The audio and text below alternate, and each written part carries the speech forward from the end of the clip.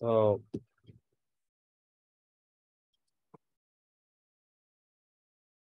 नमस्ते everyone good evening हम लोग जो आज टॉक करेंगे आज और कल एक ये दो दिन का ऑनलाइन एक वर्कशॉप रखा गया है जिसमें हम दिनचर्या और ऋतुचर्या के ऊपर हम लोग बातचीत करेंगे जो कि वर्तमान परिप्रेक्ष्य में अगर हम देखें तो बहुत ज़रूरी है बहुत महत्वपूर्ण है और हम कहें कि बेसिक्स ऑफ़ आयुर्वेदा की जब हम बात करते हैं तो ऋतुचर्या और दिनचर्या सबसे पहले हमारे सामने आता है। तो इस पर हम लोग लगातार दो दिन बात करेंगे। आज और कल इंडियन टाइमिंग हमारा सेवन टू एट रहेगा। तो इसमें जो भी आपके क्वेश्चंस हैं, आप लोग बाद में पूछ सकते हैं। हमारे साथ में एज एन एक्सपर्ट जो है, वो डॉक्टर इकबाल जी हैं, इकबाल पठान जी। Uh, मैं आपके बारे में एक बहुत छोटा सा परिचय दे देता हूँ। बाकी सर अपने बारे में थोड़ा सा बताएँगे और अपने विषय को जब आप रखेंगे तो वो स्वयं अपने आप में एक परिचय होगा। आप आयुर्वेद आयुर्वेद मेडिकल ऑफिसर के रूप में डिस्ट्रिक्ट आयुर्वेद हॉस्पिटल झालावाड़ में आप अभी वर्तमान में कार्यरत है और आपने एमडी आयुर्वेद में किया हुआ है और इसके साथ साथ में आपने बी किया हुआ है। एम बी एच में करा हुआ है और आप अनेकों देश की जो लीडिंग आयुर्वेदिक इंस्टीट्यूट्स हैं, उस पर आपने सेवाएँ दी हैं और आपने कई हज़ार जो छात्र हैं, जो स्वास्थ्य के फ़ील्ड में काम कर रहे हैं और नहीं भी कर रहे हैं, उनको हम समग्र स्वास्थ्य कैसे प्राप्त करें, उस विषय में आपने मार्गदर्शन दिया है। आपका एक लंबा अनुभव है आयुर्वेद के फ़ील्ड में। आप सभी लोग आपके इनके ज्ञान से लाभान्वित होंगे। और मेरा आप लोगों से भी रिक्वेस्ट है कि आप लोग जितने लोग जुड़े हैं क्योंकि ये कम्प्लीटली फ्री फ्री वर्कशॉप रखी गई है तो आप अपने फ्रेंड सर्कल पे भी इस लिंक को शेयर करें जो आज नहीं जुड़ पाए हैं वो कल आपके साथ में जुड़ सकते हैं ठीक है? तो इस विषय में मैं ज़्यादा समय नहीं लूँगा बाकी लोग जुड़ चुके हैं कुछ लोग जुड़ रहे हैं आ, मैं सीधे हैंड ओवर करूँगा डॉक्टर इकबाल जी को कि आ, आ, आप इस विषय को आगे आ, बच्चों के साथ में साझा करें हमारा आज का समय जो है वो सेवन टू एट है। uh, मैं आपका बहुत बहुत स्वागत करता हूँ sir. Thank you very much आपका व्यस्त समय रहता है। आप गवर्नमेंट सर्वेंट है। अपनी सेवाएँ देते हैं हॉस्पिटल में। आपने समय निकाल करके हमारे साथ में अपने नॉलेज को शेयर करने के लिए आप एग्री हुए। मैं आपका बहुत बहुत स्वागत करता हूँ sir. Over to you sir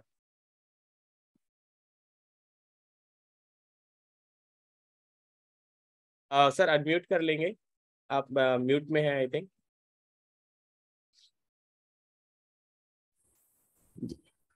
सभी को प्रणाम नमस्कार और हार्दिक स्वागत अभिनंदन।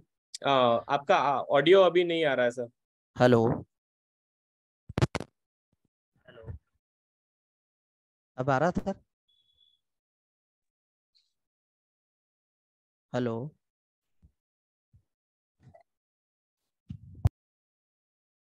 अब सुन पा रहे हैं सर? जी सर। शुरू करें सर?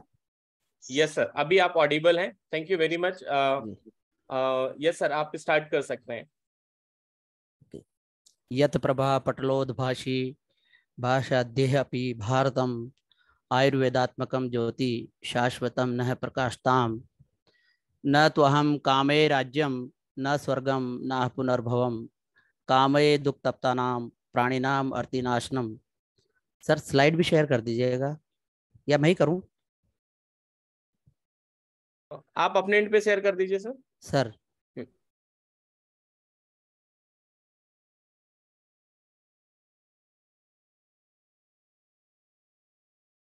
सर हो गया? आप लोगों को नज़र आ रहा है? यस सर फुल स्क्रीन कर दीजिए just yes sir okay sir sir full हो गया मेरे पास तो। आपको नज़र आ रहा है? विजिबल है सभी लोगों को? Yes sir sir. Yes sir चलिए तो हम बात करेंगे आज दिनचर्या के बारे में। और दिनचर्या जो है स्वस्थ जीवन के लिए अत्यंत महत्वपूर्ण अंगों में से एक है क्योंकि हमारा जो दिन दिन जो कार्य विधि जो होती है हमारी, वो बहुत महत्वपूर्ण है। इसलिए सबसे पहले दिनचर्या क्या है, दिनचर्या का क्या महत्व है, और आयुर्वेद में दिनचर्या किस तरह से आई है, वो हम थोड़ा सा एक पहले इसके बारे में जान लें। तो सबसे पहले दो तीन मिनट में हम इस छोटे से परिचय को लेते हैं कि आयुर्वेद क्या है। आयुर्वेद दो शब्दों से बना हुआ एक शब्द है, आयुर्वेद शब्द की हम बात करें तो वो है आयु प्लस वेद वेद। आयु जो है, वो जीवन को बताता है और वेद का जो है ज्ञान। हमारे जो वेद हैं, वो भी ज्ञान के स्रोत हैं। तो आयु क्या है? वो बहुत अच्छे से योग के जो विद्यार्थी हैं, उन्होंने सबने पढ़ा है। आयुर्वेद के जो विद्यार्थी हैं, उन्होंने भी पढ़ा है। लेकिन फिर भी संक्षेप में यहाँ एक संदर्भ में प्रस्तुत कर रहा हूँ। शरीर इंद्रिय सत्वात्मा, संयोग उधारी जीवितम, नित्य गश्चानुबंधश्च पर्याय रायु उच्चते शरीर, इंद्रिय, सत्व, यानी मन और आत्मा, इन सब का जो संयोग है, वही आयु है। और नित्य अनुबंध, ये इसके पर्याय है। तो आयुर्वेद क्या हुआ कि संपूर्ण आयुर्वेद को अगर हम बहुत संक्षेप में या बहुत अल्प शब्दों में रखें तो हिता हितम सुखम दुखम आयुस्तस्य हिताहितम, मानम च तत्व यत्रोक्तम, आयुर्वेद से उच्यते। कि जो हित आयु है, सुख आयु है, अहित आयु है, हित, अहित, सुख और दुख, इन सब के मान का, इन सब के परिमाण की बात जहाँ बताई जाती है, या जहाँ पूर्णतया उल्लेखित है, वो आयुर्वेद है। तो बात ये आई कि स्वस्थ आयु की कामना के लिए आयुर्वेद का ज्ञान या हमें जो भी करना है, या हमारी आयु है तो वो आयु कैसी होनी चाहिए? वो स्वस्थ शतायु की कामना के लिए हम करते हैं। और क्यों करते हैं? कि जो भी आदमी आयु की कामना करता है तो उसको क्या करना पड़ेगा? कि उसको आयुर्वेद में परम आदर रखना पड़ेगा। वो वो इस से स्पष्ट है। आयु काममय माने धर्मार्थ सुख साधनम आयुर्वेदोपदेशेशु विधेय परमाधर। ज़्यादा इसको विस्तार पर नहीं जाएँगे। हम विषय की तरफ़ बढ़ते हैं। अब आयुर्वेद का जो उद्देश्य है, वो दो भागों में बटा हुआ है। वो जिसको हम प्रयोजन भी कहते हैं और उसका उद्देश्य भी है। तो प्रयोजन यह है कि स्वस्थ से स्वास्थ्य रक्षणम, आतुरस्य विकार प्रश्नम स्वस्थ के स्वास्थ्य की सबसे पहले रक्षा की जाए और फिर भी यदि वह बीमार हो जाता है किन्हीं कारणों से तो आतुरस्य विकार प्रश्न उसके विकारों का उसके रोगों का प्रशमन किया जाए या उनको दूर किया जाए। तो स्वस्थ से स्वास्थ्य रक्षण का जो पार्ट है उनमें आज हम जो चर्चा करने वाले हैं वो उसी का हिस्सा है स्वस्थ से स्वास्थ्य रक्षण का हमारा दिनचर्या। सर स्लाइड आगे बढ़ रहा है? अभी हमें फ़र्स्ट स्लाइड ही दिख रहा है स्क्रीन में। सर नहीं बढ़ा आगे? आ, नहीं। अच्छा। अब सर? मुझे फ़र्स्ट स्क्रीन ही दिख रहा है बाकी लोग एक बार बताएँ आगे दिख रहा है स्क्रीन no, नहीं सर फ़र्स्ट स्क्रीन दिख रही है फ़र्स्ट दिख रहा था? ओके अभी दिख रहा है हाँ अभी दिख रहा है सर अब ठीक है? एक बार थर्ड दिख रहा है सर अभी फ़िलहाल। अब ठीक है? यस सर जी सर ओके यहाँ तक आ गए थे अपन ठीक है सर ठीक है सर हम्म। तो स्वस्थ की बात करें तो हेल्थ की डेफिनेशन डब्ल्यू इस तरह से देते हैं। हम, क्योंकि सारी बात हमारी स्वस्थ पर हो रही है। स्वास्थ्य पे ही चर्चा होगी और स्वास्थ्य क्यों आवश्यक है उसी पे बात करेंगे और दिनचर्या उसी का हिस्सा है। तो डब्ल्यू एच ओ यहाँ पर ये कहता है स्वास्थ्य क्या है? स्वस्थ। Health health is a state of physique complete physical mental social wellbeing and not merely the absence of disease और इन्फर्मिटी ये 1948 में डब्ल्यू एच ओ ने ऐसा कहा था। जिसको हिंदी में अगर हम कहें तो कह रहे हैं कि स्वास्थ्य संपूर्ण शारीरिक, मानसिक और सामाजिक कल्याण की स्थिति है। यानी न केवल बीमारी की अनुपस्थिति का होना या दुर्बलता का होना ही उसमें शामिल नहीं है, ये चीज़ें भी हो स्वास्थ्य में तो संपूर्ण स्वास्थ्य है, वो ऐसा कह रहे हैं। फिर उन्होंने उन्नीस सौ छियासी में एक और definition the health is a resource for everyday life not the objective of living. Health is a positive concept, emphasizing social and personal resource as well as physical capacities. मतलब स्वास्थ्य रोज़मर्रा के जीवन के लिए एक संसाधन है जीने का उद्देश्य नहीं स्वास्थ्य एक सामाजिक और व्यक्तिगत संसाधनों की सकारात्मक अवधारणा है साथ ही शारीरिक क्षमता पर बल है ऐसा इसका कुछ अर्थ निकलता है लेकिन नमन है हमारे आचार्यों को जिन्होंने हज़ारों वर्षों पूर्व स्वास्थ्य और स्वस्थ की परिभाषा दी और स्वस्थ शब्द सुष्टुर निर्विकार अवतिष्ठति इति स्वस्थ है ऐसा कहा। अब सुश्रुत आचार्य सुश्रुत ने बहुत ही ब्रॉड डेफिनेशन स्वस्थ की दी। उन्होंने कहा सम दोष है समाग्निश्च सम धातु मलय क्रिया प्रसन्नात्मेन्द्रिय मना स्वस्थ इत्य सर नेक्स्ट स्क्रीन सर नहीं आ रहा क्या आपके पास? ये क्या हो रहा है बार बार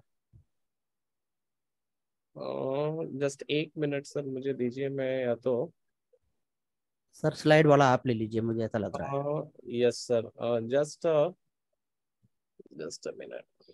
मैं स्टॉप कर दूँ sharing?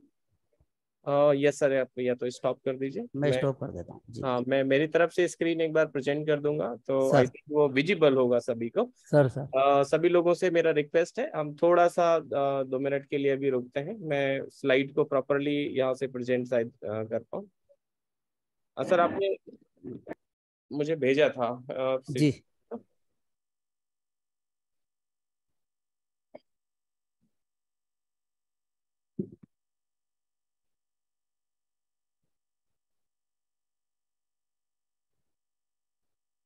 bener apa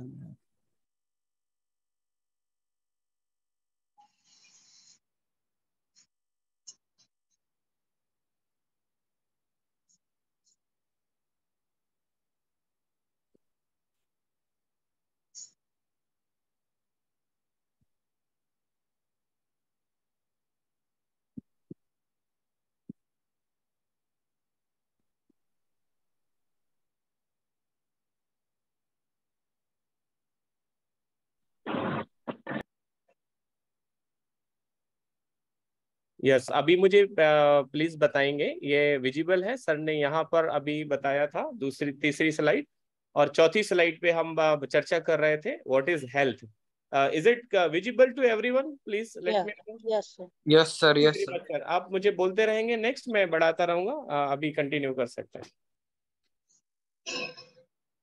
sir mute पे है सर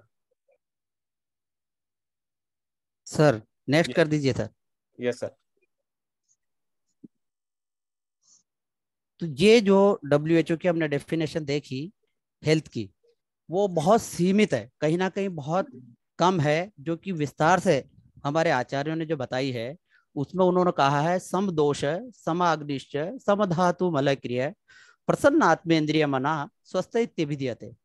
मतलब जिनके शरीर के सारे दोष, जो कि वातपित कफ, दोष के रूप में हम जानते हैं, और तीनों मानसिक दोष सत्व रजतम तेरह प्रकार की अग्नियाँ, जिसमें एक जठराग्नि, तीन दोषाग्नियाँ और सात धातु अग्नियाँ तथा तीन मलाग्नियाँ। ये सारी जो अग्नियाँ हैं, तेरह प्रकार की, वो तीनों मल, स्वेद, मूत्र और पुरुष, ये समावस्था में हो।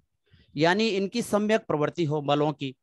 साथ ही आत्मेंद्रिय मनोर्थ नाम सस्ते विधीयते। ये बहुत ही महत्वपूर्ण लाइन है। अगर कोई व्यक्ति कहे कि मैं पूर्णतः स्वस्थ हूँ मुझे कोई तकलीफ़ नहीं है और मॉडर्न पैरामीटर पे उसकी सारी जांचें हम करा लें, सारे इन्वेस्टिगेशन करा लें और वो बिल्कुल ठीक आ रहा है। लेकिन फिर भी यदि स्वस्थ के लिए जो है प्रसन्न आत्म इंद्रिय मना, अगर उसकी आत्मा, इंद्रिय और मन ये प्रसन्न नहीं है तो वो स्वस्थ नहीं है, ऐसा आचार्य ने कहा है। नेक्स्ट कर दीजिए सर। तो स्वस्थ रहने का प्रयोजन क्या है? क्यों रहें स्वस्थ? तो उसके लिए भी हमारे शास्त्रों में कहा है कि स्वस्थ रहने के लिए जो है, उसका प्रयोजन है धर्मार्थ काम मोक्षणाम, आरोग्यम मूलम उत्तमम। जो हमारा पुरुषार्थ चतुष्टय है या चतुर्विध पुरुषार्थ है, वो धर्म, अर्थ, काम और मोक्ष, ये चार जो हमें होते हैं, सबसे पहले धर्म आता है, अर्थ होता है, काम है और फिर मोक्ष की प्राप्ति। इन विषयों पर ज़्यादा नहीं जाएँगे। तो ये चार जो पुरुषार्थ चतुष्टय के भाग हैं उन सब की प्राप्ति के लिए, या उसका मूल जो कहा है, वो वो यहाँ पर ये वो स्वास्थ्य का प्रयोजन है, उसकी प्राप्ति इसी से होगी। एक और बार जो डब्ल्यू एच ओ यहाँ इसके लिए कहते हैं कि वो हेल्थ का जो बताते हैं नीड ऑफ़ हेल्थ उसके लिए to lead social and economically productive life सिर्फ़ इतना डब्ल्यू एच ओ ने कहा है कि सामाजिक और आर्थिक स्वरूप से उत्पादक जीवन का नेतृत्व करने के लिए स्वास्थ्य ज़रूरी है। जबकि आयुर्वेद में आचार्य कहते हैं कि धर्म, अर्थ, काम और मोक्ष, ये आरोग्य आरोग्य मतलब स्वास्थ्य ये इसका मूल है। नेक्स्ट कर दीजिए। ये हो गई बात, आगे बढ़ा दीजिए। और नेक्स्ट कैसे प्राप्त करें? तो हम आयुर्वेद में जो प्रदत्त, स्वस्थ व्रत की जो सिद्धांत है, जैसे दिनचर्या, रात्रिचर्या, ऋतुचर्या, सदव्रत, आचार रसायन, भोजन के नियम जैसे द्वादश अशन विचार, विरुद्ध आहार आहार विधि विशेषायतन आदि जो है, ये सारे और आयुर्वेदीय रसायनों का सेवन इत्यादि, इन सब का पालन हम करें और शरीर और मन के स्वास्थ्य को पा सकते हैं, इन सबसे।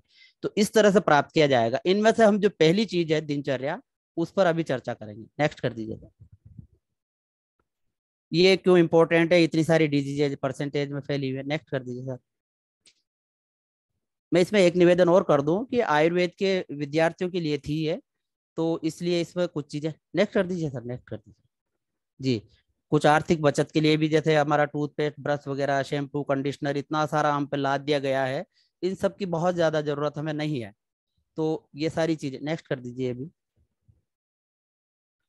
दिनचर्या, जो हमारा आज का मुख्य विषय है, उस पर हम बात करेंगे कि दिनचर्या क्या है। तो इंदु जो है, टीकाकार हैं, उन्होंने इस पर लिखा, प्रतिदिन हम कर्तव्यचर्या दिनचर्या। कि प्रत्येक दिन में जो हम कर्तव्य करते हैं, वो जो चर्या है, या जो, वो जो पूरा प्रकरण है, वो दिनचर्या कहलाता है। दिने दिनचर्या दिनस्य वाचर्या दिनचर्या। कि जो प्रति प्रतिदिन में जो हम, जो भी कर रहे हैं उस एक दिन में या संपूर्ण दिन में, वही दिनचर्या नेक्स्ट कर दीजिए सर। दिनचर्या का क्या महत्व है? कि दिनचर्या तीन मुख्य जो बातें हैं, उनके लिए बहुत आवश्यक है। व्यक्तिक स्वास्थ्य, यानी पर्सनल हेल्थ व्याधि क्षमत्व वृद्धि, यानी इम्यूनिटी एनहेंसमेंट और रोग प्रशमन, या रोग शमन, यानी डिज़ीज़ मिटिगेशन ये तीन चीज़ों के लिए दिनचर्या नितांत आवश्यक है। नेक्स्ट कर दीजिए।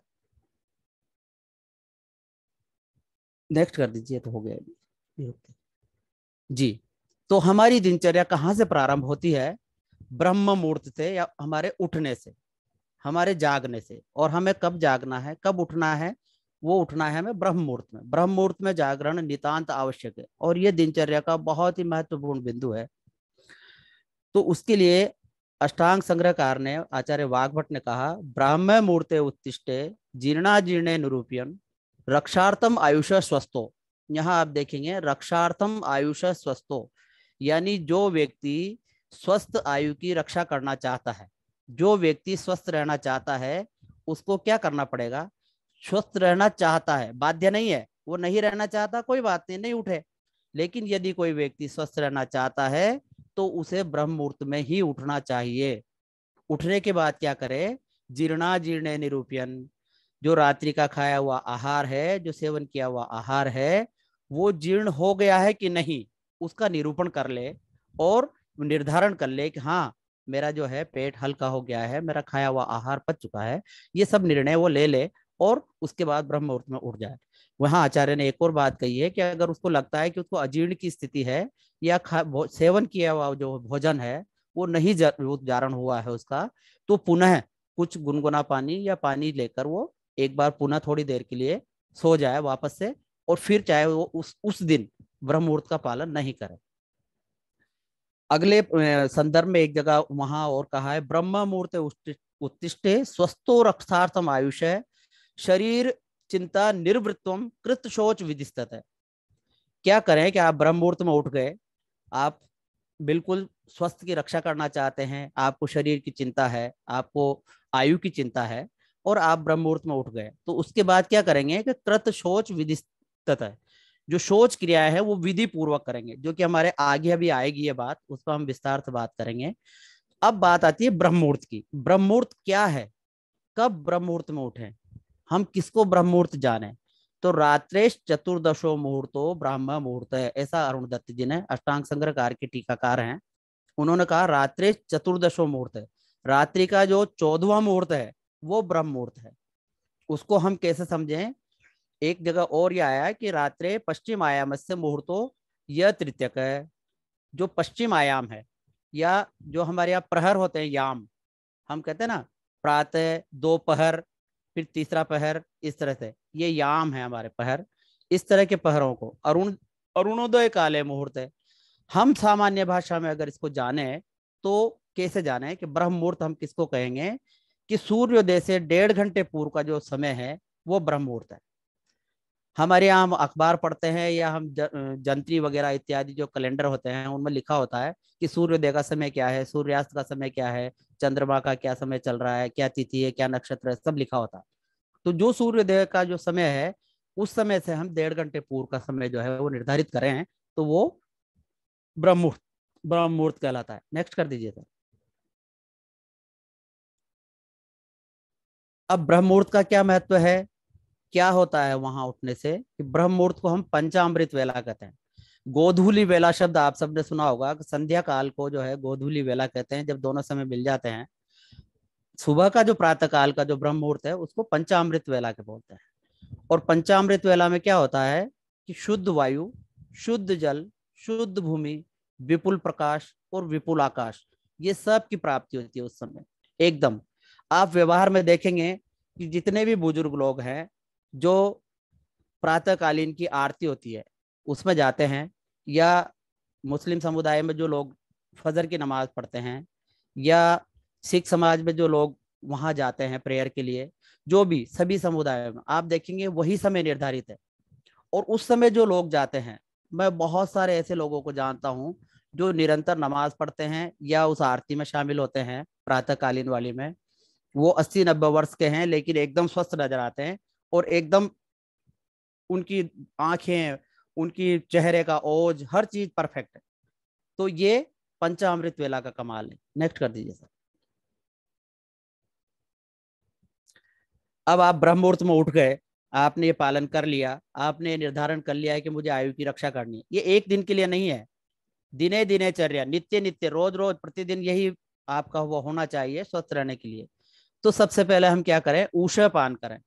आजकल पानी को लेके बहुत सारे व्हाट्सएप पे गूगल पे और कहा इंस्टाग्राम पे सब जगह लोग कहते हैं, इतना पानी पिए, इतना पानी पिए, इतना पानी पिए। नहीं, आचार्य ने बहुत ज़्यादा जल सेवन के लिए भी निषेध किया है। अति जल जो है, बहुत ज़्यादा स्वास्थ्यवर्धक नहीं है। उस विषय पे अगर संभव हुआ तो कल वार्ता करेंगे। तो कितना पानी पिए? ऊषे पान जो हम करें तो कितना करें?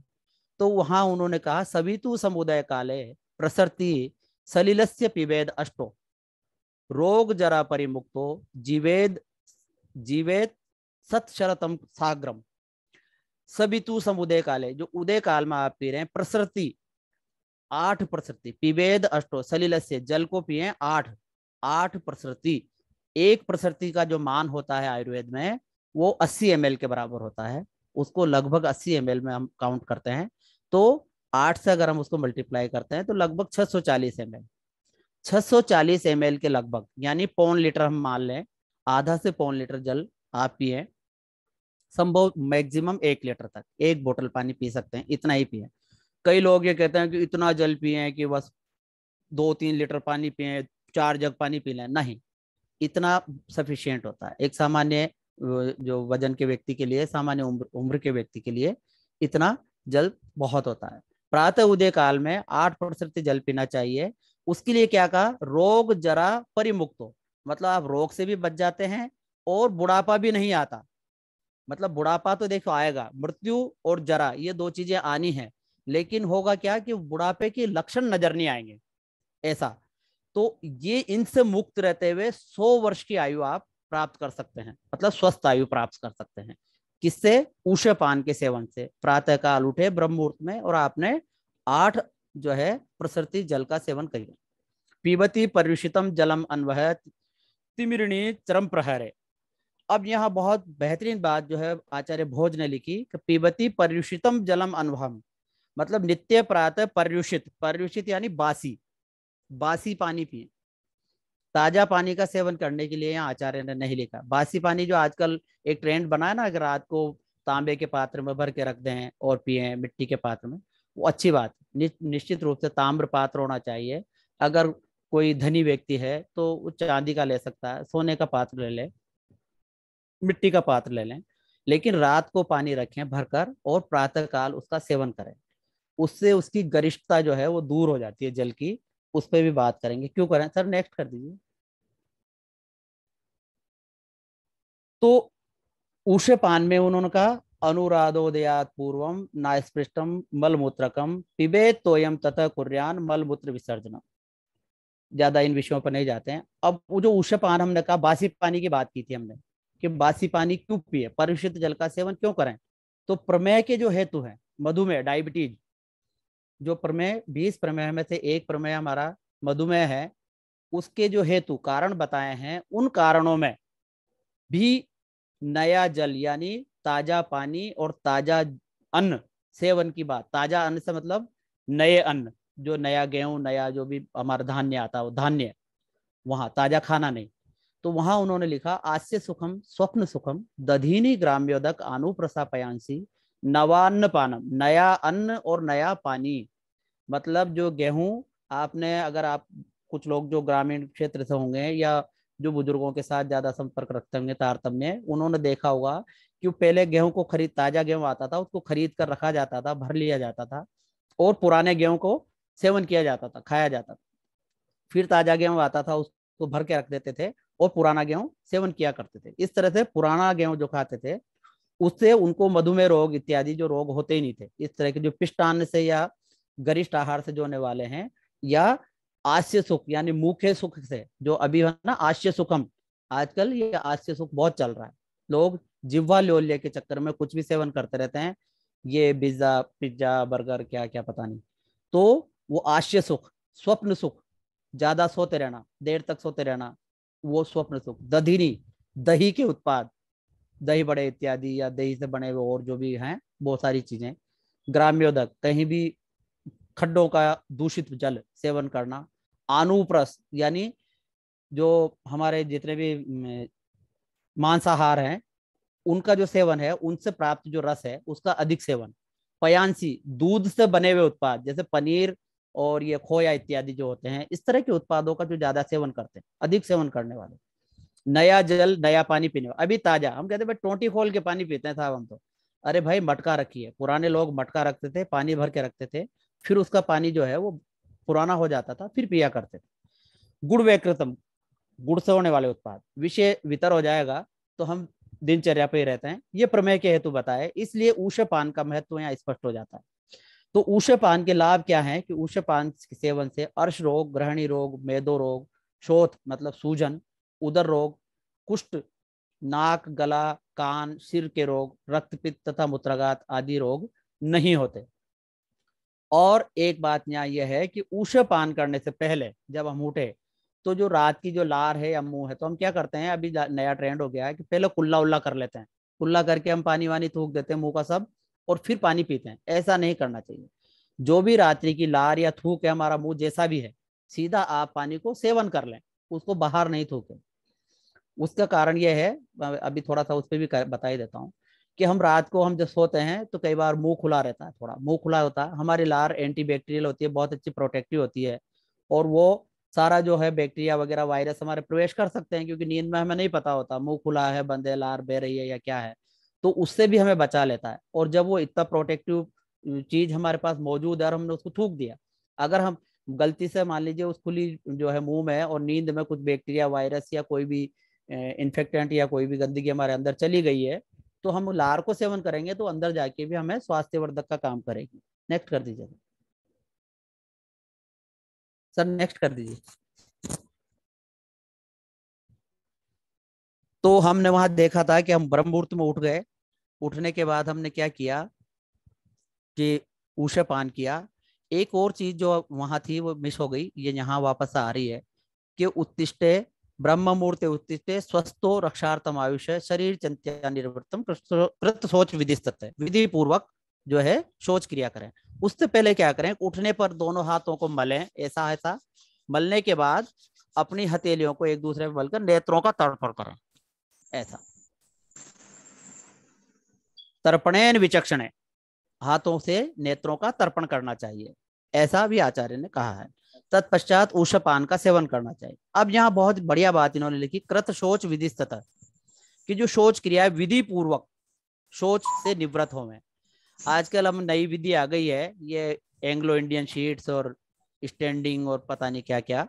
तो आप देख रहे होंगे कि ज़्यादातर लोग जो है उस पर बैठ जाते हैं और जो हमारा मूलभूत जो है विधि, सोच की, वो उस पर फॉलो नहीं हो पाती। जब हम सोच के लिए, निवृत्त होने के लिए जब एक पर्टिकुलर आसन में बैठते हैं तो एक पर्टिकुलर प्रेशर हमारे एब्डोमेन पर लगता है और एक सीटिंग पोस्चर से जब हम फॉरवर्ड बेंडिंग ऊपर का हिस्सा हमारा जो चेस्ट पार्ट है फॉरवर्ड बेंडिंग में रहता है, और वो जो एक प्रेशर और एक पर्टिकुलर पोस्चर जो बनता है, वो हमारे स्वस्थ शोच से निवृत्त होने के लिए बहुत ज़रूरी है। आजकल हम सीधा बैठ जाते हैं और एक ट्रेंड तो और हो गया है कि लोग अखबार पढ़ते रहते हैं, कोई भी मोबाइल पे खेलते रहते हैं सोच करते वक्त भी, जबकि वो विधि नहीं है। बहुत विधि विधान सोच में भी उसको अप्लाई करना चाहिए।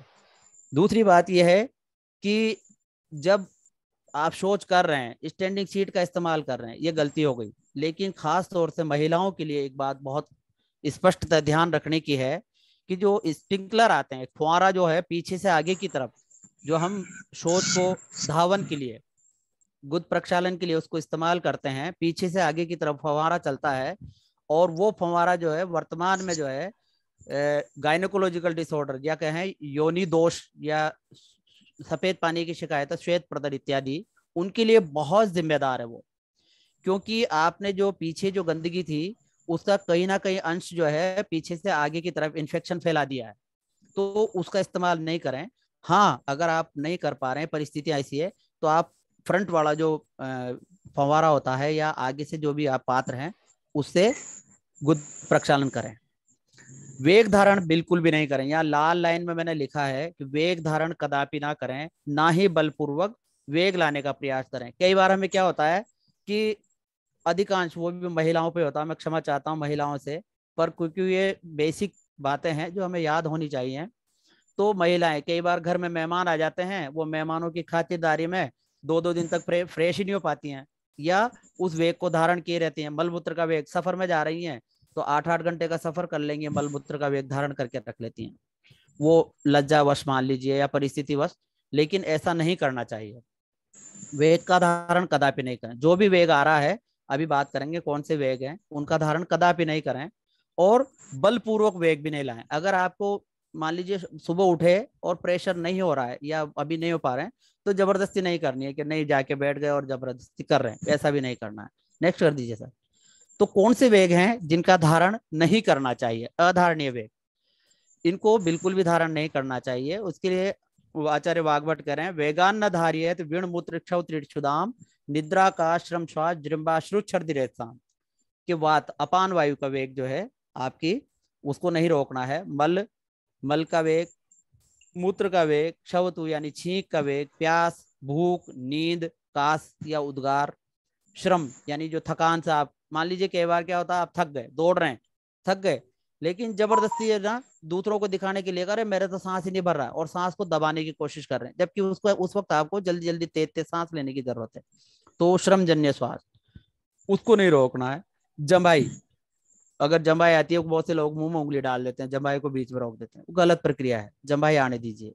अश्रु का वेग, कोई रो रहा है या किसी को आँसू आ रहे हैं किसी वजह से तो उसको खुल के रोने दीजिए, उसके आँसू निकल जाने दीजिए।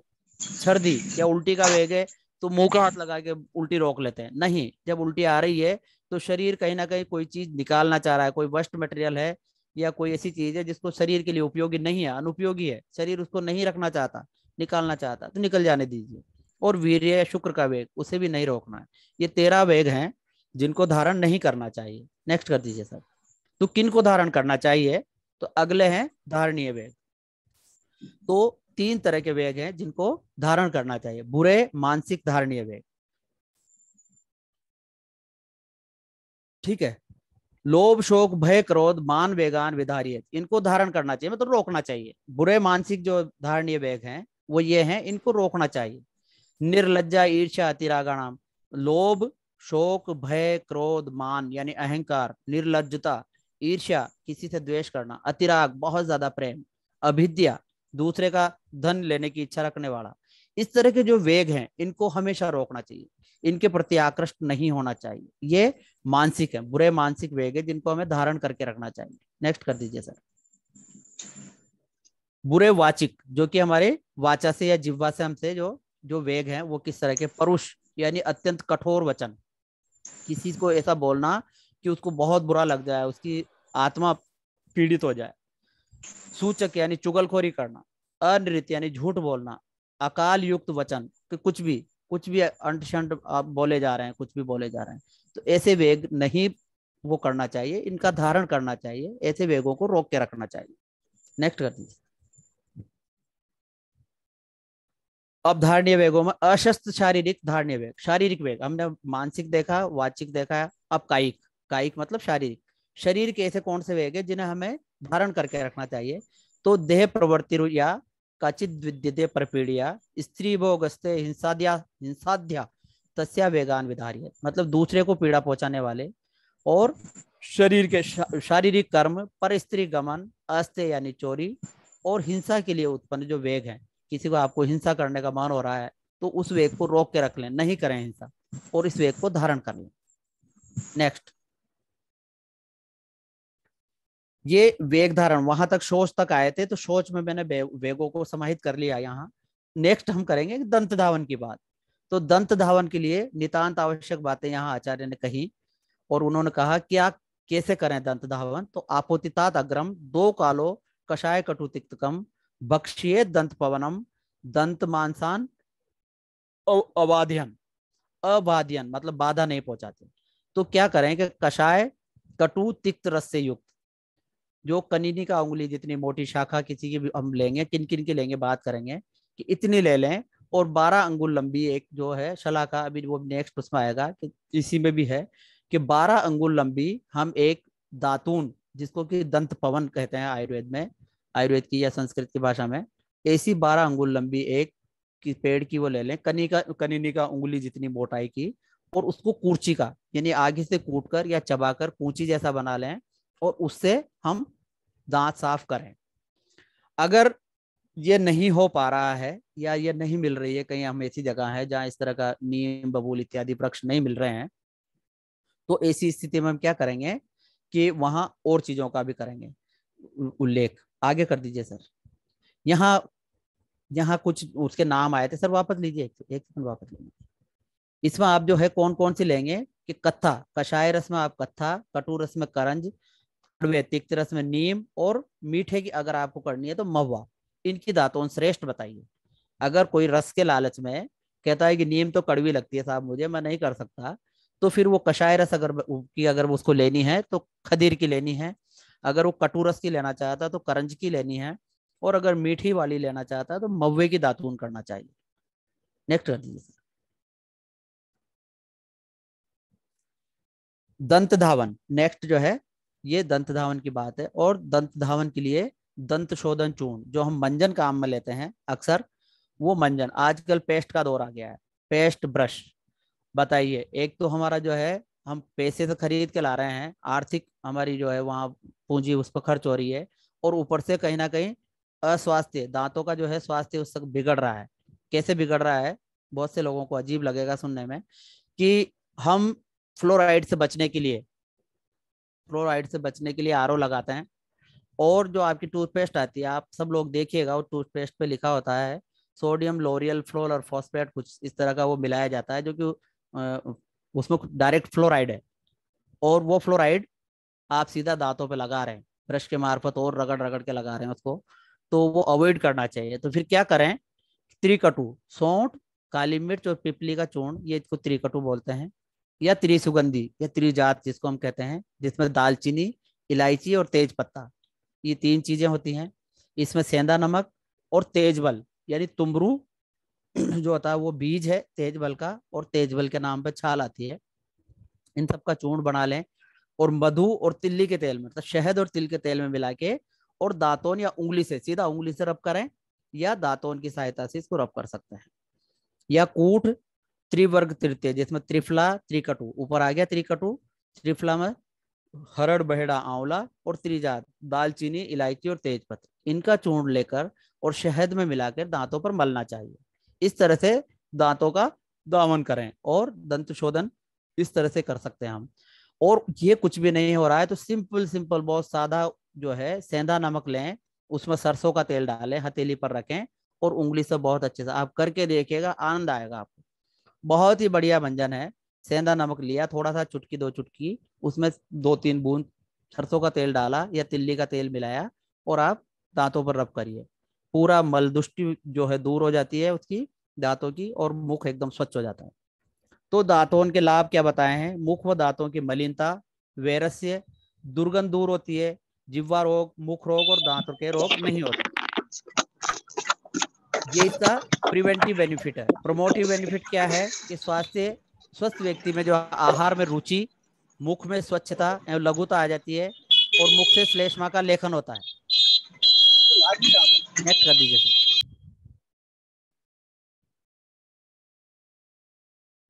जी। अब अगला है गंडूश और कवल।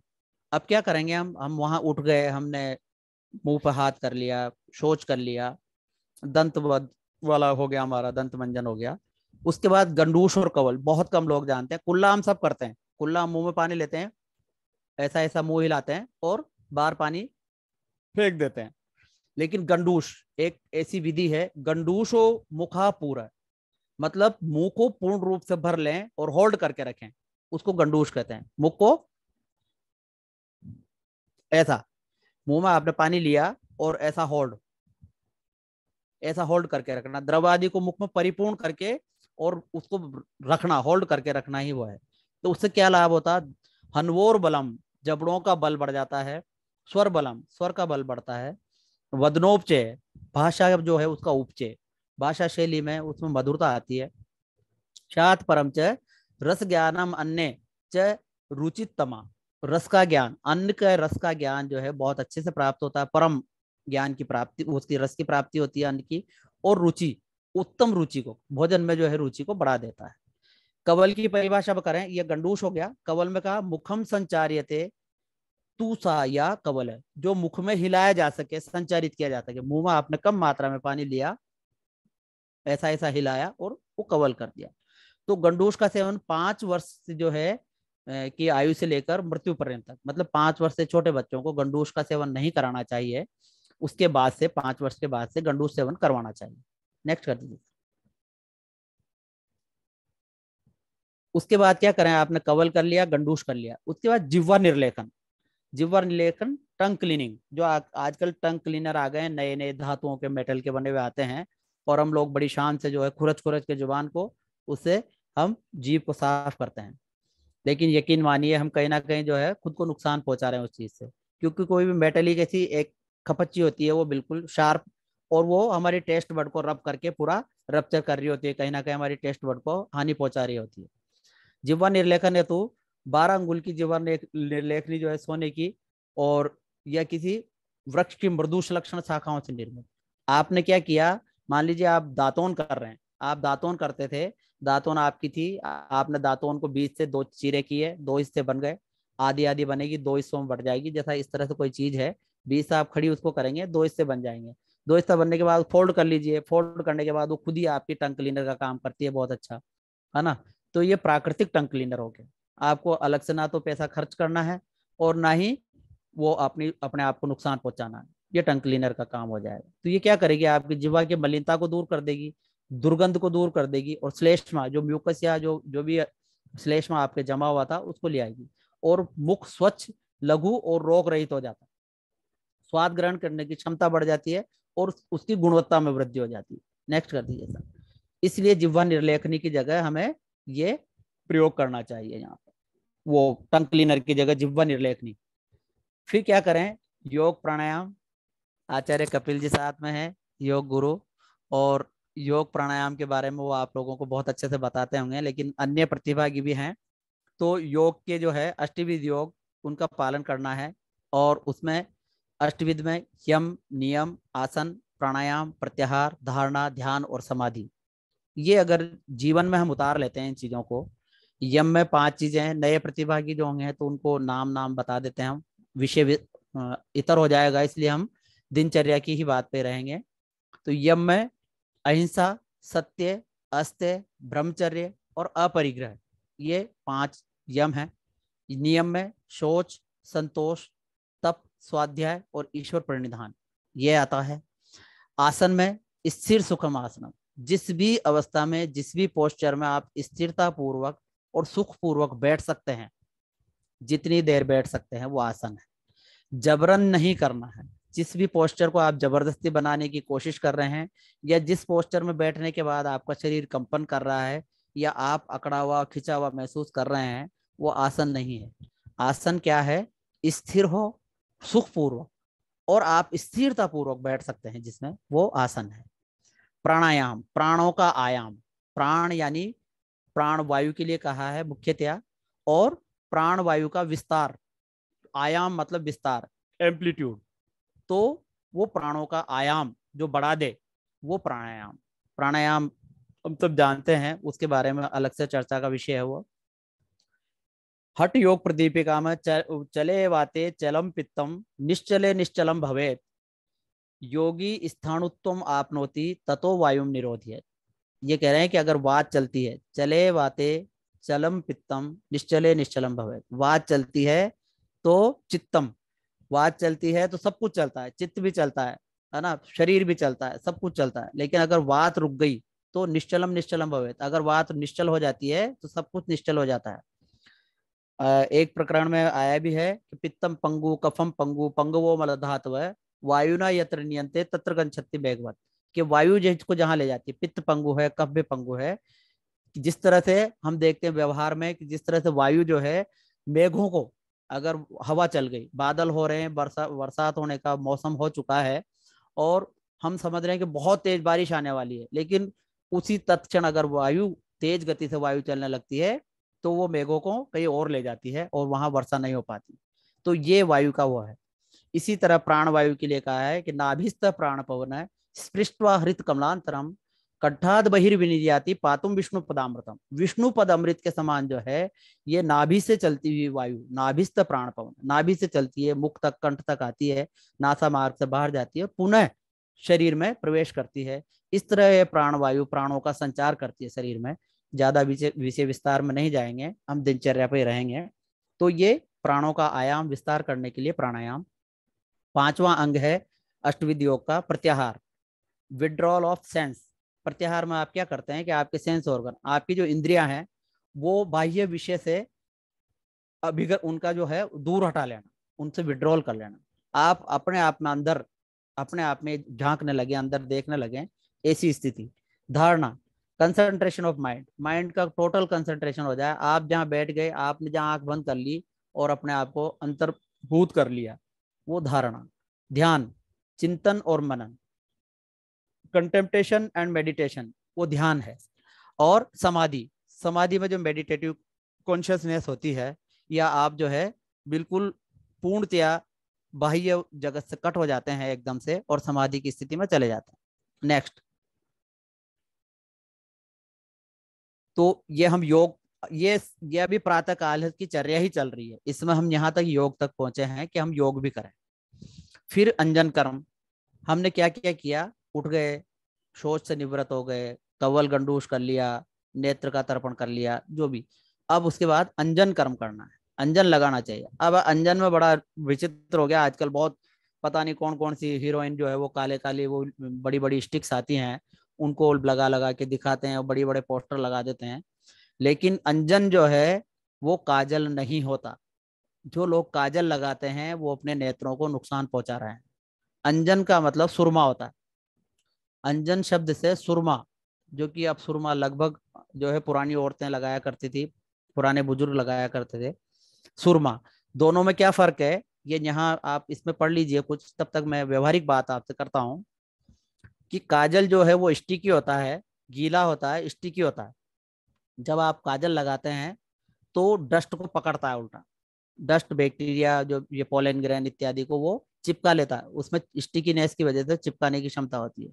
और वो आँखों को भी जो है, बहुत ज़्यादा वो नहीं करता, स्टिकीनेस आ जाती है आँखों में भी। ऐसा चिपचिपापन हो जाता है। जबकि जब सुरमा जो हम होता है, वो ड्राई फॉर्म में होता है, सूखा पाउडर होता है सुरमा, और उसको हम जब लगाते हैं तो वो तेज होता है थोड़ा, लगाते के साथ ही आँखों से आँसू निकल जाते हैं। तो जो भी आपका आँखों का मल है नेत्र मल वो बाहर आ जाता है। गंदगी कोई है, बैक्टीरिया, पोलन ग्रहण कोई भी चीज़ है, वो बाहर आ जाती है।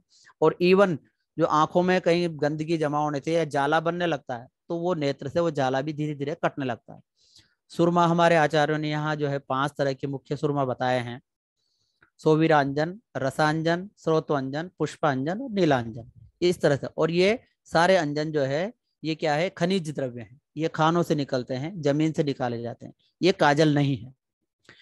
इसकी बेहतर विधि होती है कि आप बाज़ार से कोई भी अंजन लाएँ, सुरमा सुरमा लाने के बाद उसको नीम के पेड़ में, संभव हो सके तो नीम के पेड़ में एक छोटी सी कोटर बना दें।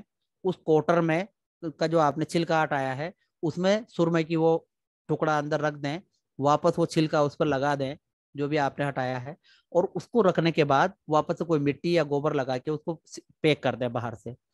पंद्रह दिन या इक्कीस दिन के लिए उसको ऐसा छोड़ दें, फिर उस सुरमे को बाहर निकालें और उसको पीस के अपनी सुरमादानी में रखें और सलाई से आँखों में लगा लें। नित्यम हितांजनम, नित्य, सोवीरांजनम नित्यम नित्य प्रयोग करना चाहिए सोवीरांजन को, हितम अक्षणों प्रयोग। आँखों के लिए हितकर है पंचरात्र, अष्टरात्र इस पर नहीं जाएँगे। श्रवणार्थे, आँखों से श्रवण करवाता है वो। इसलिए अंजन का प्रयोग करना चाहिए, काजल का कभी भी नहीं।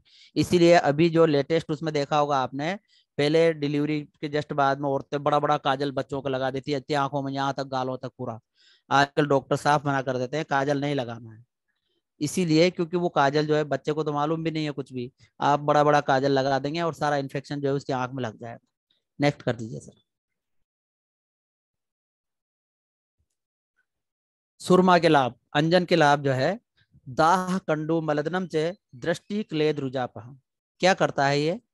कि दाह जलन को दूर करता है, खुजली को दूर करता है, आँखों में जो मल है या क्लेद, चिकनापन जो हो गया है, वो, उसको आवरण सा आ जाता है, एक लेयर सी आ जाती है, कई बार धुंधलापन, उसको दूर करता है रुझा आँखों में अगर दर्द रहता है, पीड़ा रहती है, कई बार आँखों की आई बॉल में बहुत दर्द होता है आई बॉल का प्रेशर बढ़ जाता है तो उस वक्त जब हम सुरमा रोज लगाते हैं तो वहाँ से पानी निकलता रहता है तो पानी जब आंसुओं के रूप में निकलता है तो कुछ सराव अंदर से भी आता है तो उसमें राहत मिलती है। तेजो रूपा वहम चेव सहते मारुता तपो, न नेत्रो रोगा जायते तस्माद अंजनम आचरित। कि तेज प्रकाश, तेज हवा, तेज धूप को सहन करने की क्षमता आ जाती है नेत्रों में, क्योंकि सुरमा खुद जो है तीक्ष्ण है थोड़ा प्रवृत्ति में तो ये तेज प्रकाश, तेज हवा, तेज धूप हम स्वतः ही सहन कर सकते हैं। यहाँ जैसा कि मैंने पहले भी बताया, यहाँ अंजन से तात्पर्य, सुरमा है, ना कि काजल। अंजन प्राकृतिक है, जबकि काजल मानव निर्मित है।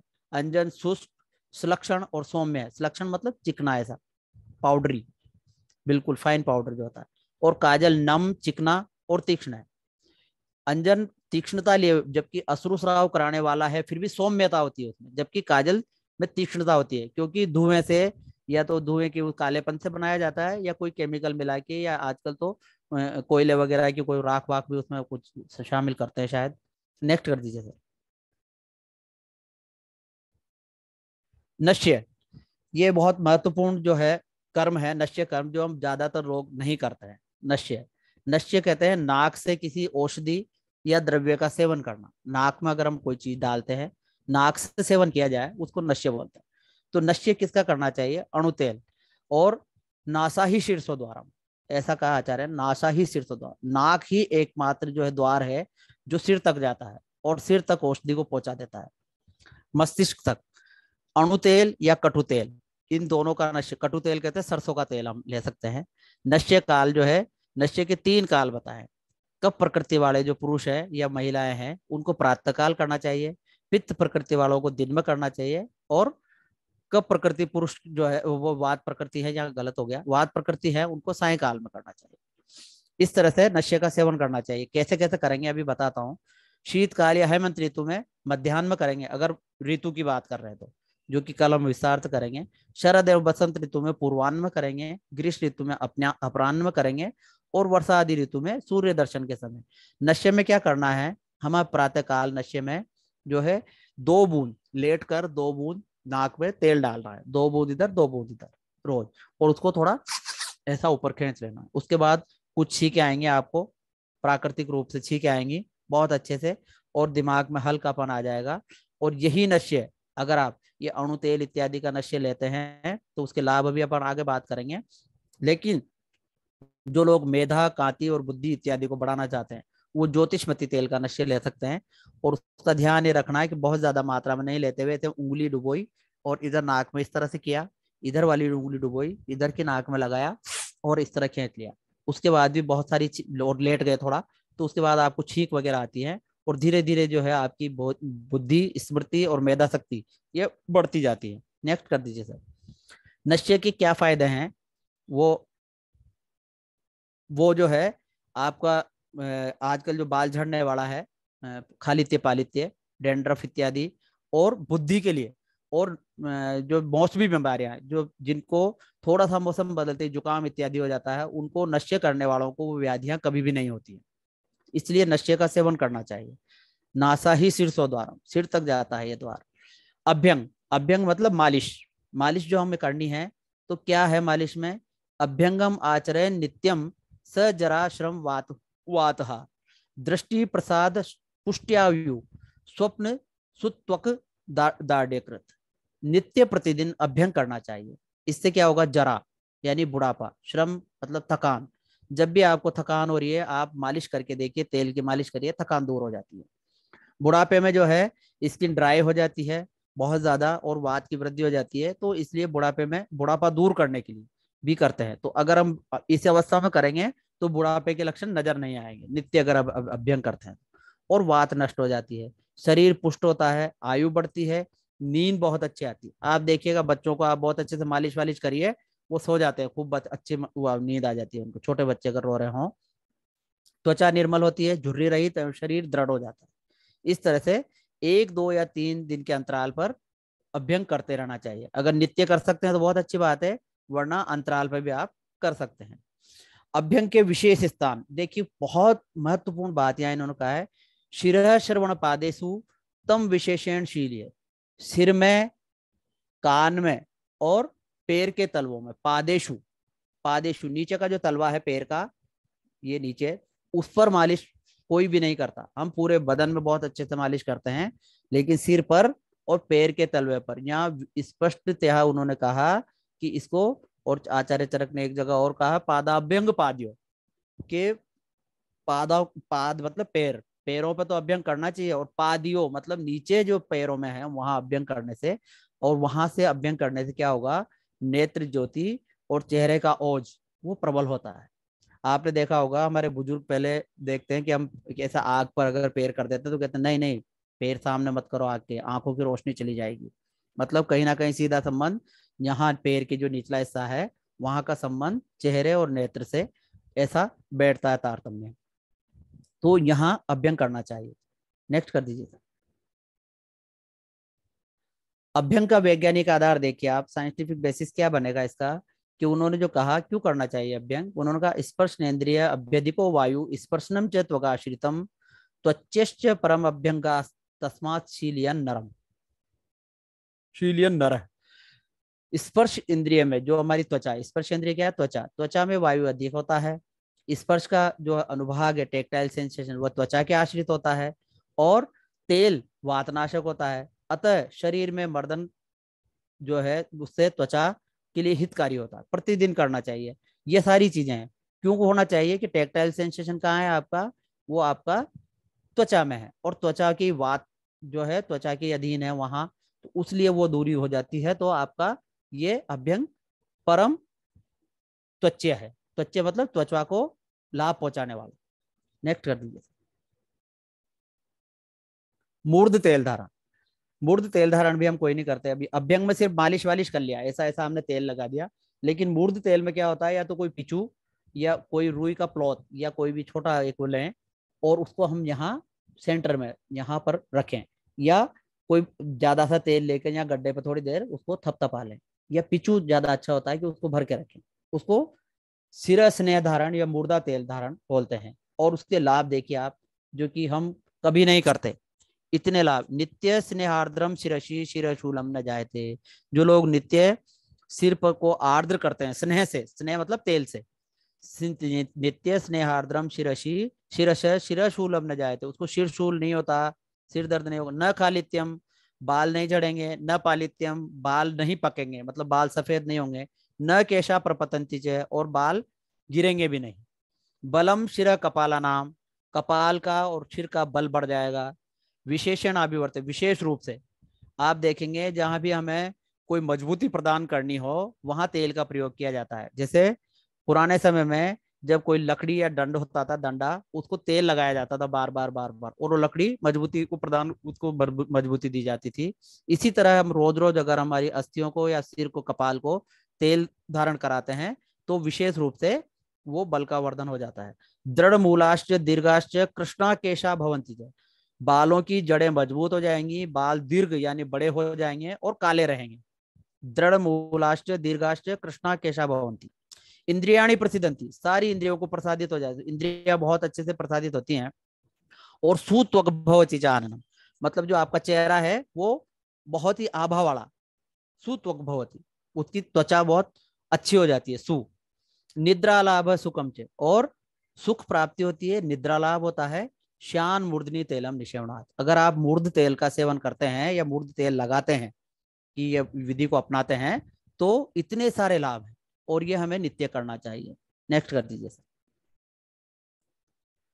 उसके बाद कर्ण तर्पण। कानों में भी तेल डालना चाहिए। ऐसा आचार्य कहते हैं, न कर्ण रोगा वातोत्था, न मन्या हनु संग्रह, न उच्चेर श्रुतिर्न बाधिर्यम श्यान नित्यम कर्ण तर्पणात्। क्या आप न कर्ण रोगा, कान के रोग नहीं होंगे, वातोत्था, वात के रोग नहीं होंगे, न हन्या मनु संग्रह हन्या स्तंभ और मनु जो है मन्य स्तंभ टोटिकोलिस और हनु मतलब जबड़े का। जबड़ा जकड़ जाता किसी का बेंडिंग ऐसा उलझ जाता है जबड़ा, वो नहीं होगा। और टोटिकोलिस मन्या स्तंभ मतलब गर्दन अखड़ी की भी रह जाती है, इस तरह की व्याधियाँ नहीं होती, जब कान में तेल डालने थे। न उच्चेर श्रुति न ऊँचा सुनाई देना लगेगा मतलब आपको कम सुनाई नहीं देगा, न बिल्कुल बाधिर्य बाधिर्य की प्राप्ति भी नहीं होगी। सा नित्यम कर्ण तर्पणार्थ अगर आप नित्य कानों में तेल का तर्पण करते हैं तो। फिर आता है पाद तला अभ्यंग जो हम बात कर रहे थे अभी। उसकी बात, खरत्व स्तब्धता रोक्षम श्रम शुप्ति पादियो। खरता मतलब बहुत ज़्यादा जो है रुक्षता ड्राइनेस में जब फट जाए, पैर फटने लगते हैं, स्किन फटने लगती है। स्तब्धता मतलब जकड़ाहट रुक्षता ड्राइनेस, श्रम, थकान, सुप्ति और सुप्ति पादियो, सुन्नपन। सुप्ति मतलब सुनापन। सद्य एवोपशाम्यंती पादाभ्यंग निषेवनाथ इनको सद्य मतलब तुरंत लाभ मिलता है। अगर पाद्याभ्यंग कोई करता है तो तुरंत लाभ मिलता है। जायते सुकुमार्यम च बलम स्थिर पाद्य। और बल प्राप्त होता है स्थिर प्राप्त होता है और सुकुमार हो जाते हैं। पैर कैसे हो जाते हैं? सुकुमारों जैसे पैर हो जाते हैं। मतलब बच्चों जैसे। बहुत नाजुक सा, बढ़िया स्किन हो जाती है। दृष्टि प्रसादम और नेत्रों के लिए भी बहुत अच्छा है। लबते मारुत उपशाम्यंती और वायु का समन कर देने वाला है। न च शायद वातम आपका गर्दर्शी रोग नहीं होगा। टीका जिसको बोलते हैं, साइटिका आम बोलचाल में वो नहीं होता। पादियो स्फुटनम च और पैरों में फूटन नहीं होगी, फूटनी। ऐसा कहते हैं, मेरे साहब, मेरे तो फूट नहीं लग रही है, पिंडलियों में फूट नहीं लगती है जांगों में फूट नहीं लगती है, बुज़ुर्ग लोग ज़्यादा बोलते हैं क्योंकि वहाँ आवाज़ ज़्यादा बड़ी होती है। तो ऐसे लोगों को ये करना चाहिए। न सिरा संकोच है पादा अभ्यंगन पादियो। और सिराओं में संकोच नहीं होता। उनकी जो सिरा संकोच, जो आजकल नई नई बीमारी आ रही है ना कि साहब, वो उसकी, अंदर की डायमीटर कम हो गया है सिराओं का या उनका वेंस का तो वो नहीं होता। नेक्स्ट कर दीजिए अब व्यायाम हमने योग की बात की थी और अब व्यायाम की। योग में और व्यायाम में क्या अंतर है? तो शरीर आयास जनकम कर्म व्यायाम संगीतम। आयास मतलब एक्स्ट्रा एफर्ट जबकि आपको योग में या प्राणायाम में एक्स्ट्रा एफर्ट की ज़रूरत नहीं है। वहाँ हमने क्या कहा था? स्थिर सुखम आर्थनम जिसमें आप बहुत सुख पूर्वक रहते हैं, बहुत स्थिरता, शरीर बिल्कुल स्थिर होता है, आपको कोई एक्स्ट्रा एफर्ट नहीं करनी होती, वो योग है। लेकिन आपको जहाँ एक्स्ट्रा एफर्ट करनी होती है, शरीर आयास जनकम आयास मतलब जहाँ थकान होती है श्रम होता है, और एक्स्ट्रा एफर्ट आप करते हैं, उसको व्यायाम कहते हैं। और शरीर चेष्टा या चेष्टा स्थिरता बलवर्धनी, जो शरीर हम इष्टा जो चाहकर चधन इष्ट इच्छित रूप में हम चाहकर जो शरीर के लिए करते हैं, ये चीज़ जो हमारा जो व्यायाम है, वो स्थिरता स्थिरता लाता है शरीर में और बलवर्धनी और बल की वृद्धि करता है। तो हमें नित्य व्यायाम भी करना चाहिए। अब व्यायाम से क्या होगा कि कितना कितना व्यायाम करें? तो वैसे तो अर्धबल, जितनी आपकी शक्ति है, जितना आपको लगता है कि मैं दो घंटे साइकिल चला सकता हूँ या दो, बीस किलोमीटर चला सकता हूँ तो इतना नहीं चलाना है, आपको दस किलोमीटर ही चलाना है। अर्ध अर्ध बल से तक आपको करना है। आप मैं इतना तैर सकता हूँ, मैं उस तालाब में, उस किनारे जाके वापस आ सकता हूँ तो वापस नहीं आना, सिर्फ़ जाना है, अर्ध व्यायाम करना है। स्वेद संबंधी जो है तो अब इसको हम दूसरे उसमें समझें कि ललाट, माथा और नासिका छिद्रों में और संधियों और कक्षा में, यहाँ से पसीना, यहाँ से ये पसीना आने लगे, ये व्यायाम हो गया है पूर्ण आज का, इसको माने, जिसको यहाँ से व्यायाम, कान के पास से या ललाट से पसीना चल गया है तो ये लक्षण व्यायाम पूर्ण होने के लक्षण है। और कैसे समझें? क्या करेगा व्यायाम? लाघवम कर्म सामर्थ्यम, कि लघुता आ जाएगी, हल्कापन आ जाएगा, कर्म सामर्थ्यम, कार्य करने की समर्था आ जाएगी, दीप तो अग्निर्मेद से। अग्नि दीप तो जाएगी और मेद से क्षय, मेद का क्षय होने लगेगा। मतलब मेद जो है पसीने के थ्रू डिजोल्व होके कुछ मेद का क्षय होना शुरू हो जाता है। विभक्त घन गात्रत्व जो घन मतलब बड़े फूले हुए जो गात्र थे या अंग थे वो धीरे धीरे छटने लगेंगे व्यायाम उपजाए थे। ऐसा व्यायाम से होता है। नेक्स्ट कर दीजिए योग की बात हमारी वैसे तो हो गई नेक्स्ट कर लीजिए इसको नेक्स्ट उसमें लेंगे। इसको भी नेक्स्ट कर लीजिए। हाँ उद्वर्तन। उद्वर्तन पे हम बात करेंगे। हमने अभ्यंग की बात की। अभ्यंग में हम क्या करते हैं? मालिश करते हैं, जिसमें कि तेलीय द्रव्य मुख्यतः हम लेते हैं।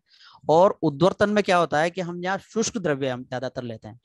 ज़्यादा शुष्क लेंगे, स्निग्ध भी होते हैं, तेल भी वगैरह भी होते हैं, लेकिन उद्वर्तन में क्या है, मालिश हम जो है अनुलोम करते हैं ज़्यादातर। बालों की दिशा की में हम जो जो करते हैं वो मालिश, वो अभ्यंग कहलाता है ऐसा अभ्यंग। जैसे बालों की दिशा नीचे है, नीचे झुके हुए हैं, इस तरह से हम करेंगे तो ये अभ्यंग है। लेकिन प्रतिलोम गति से जो किया जाएगा, न्यू और ज़्यादा दबाकर अधिक भार से, उसको उद्वर्तन बोलते हैं। बालों के विपरीत दिशा में, इधर से नीचे से न्यू करेंगे और बहुत पीड़ा या भार देते हुए, पीड़न करते हुए हम जो करेंगे उसको। अभ्यंग, इस तरह का जो अभ्यंग है, वो उद्वर्तन कहलाता है।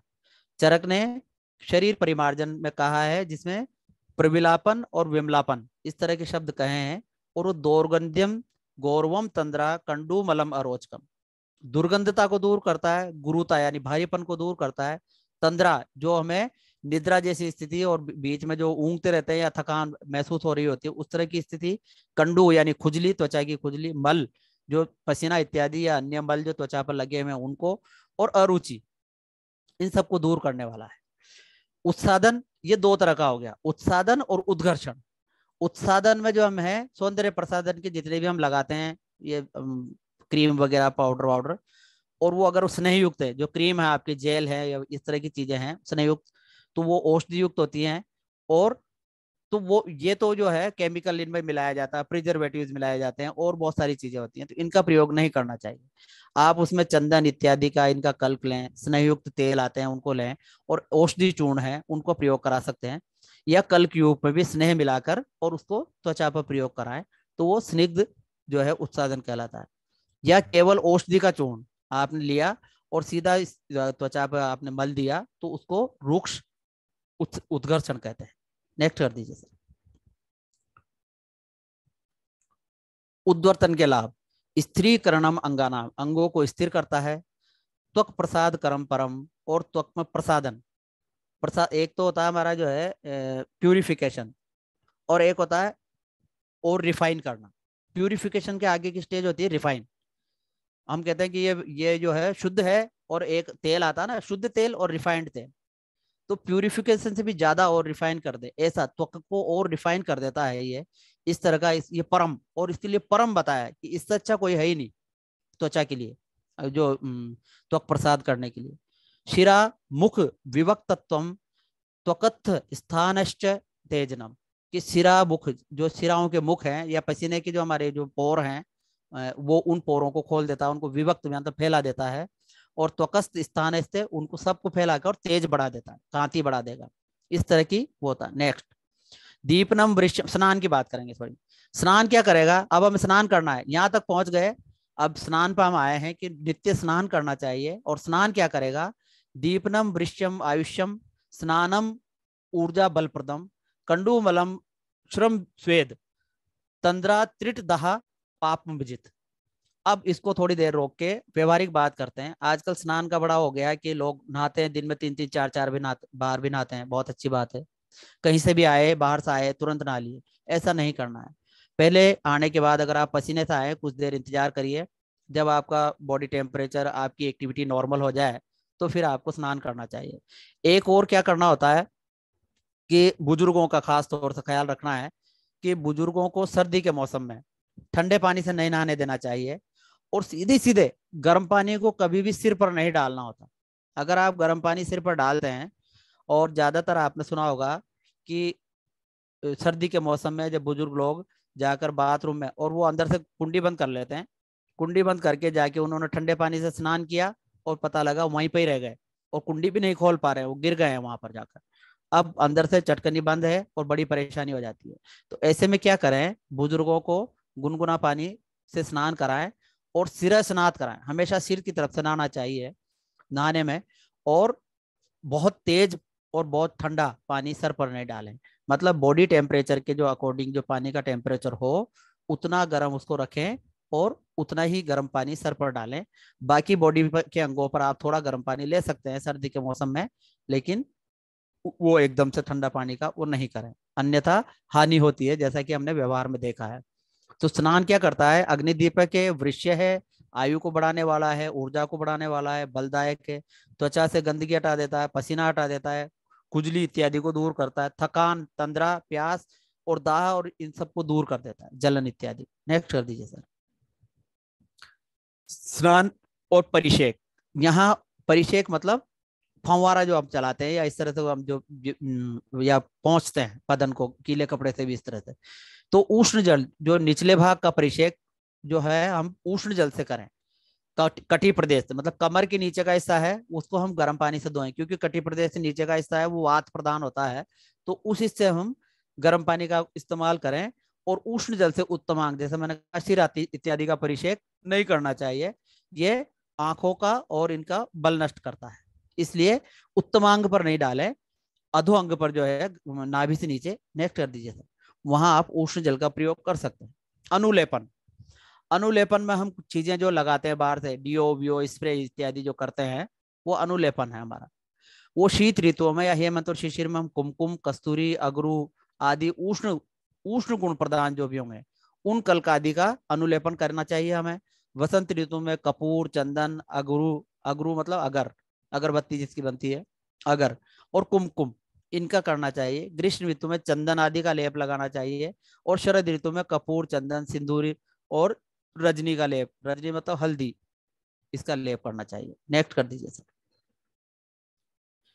वस्त्र धारण कैसे करें? ये बहुत दिनचर्या की, हर चीज़ का अपना बहुत इंपॉर्टेंस है। विषय बहुत बड़ा है, इसको बहुत छोटा किया है, किसी तरह से बहुत कम शब्दों में कहने की कोशिश की है। तो किस ऋतु में कौन से वस्त्र धारण करें?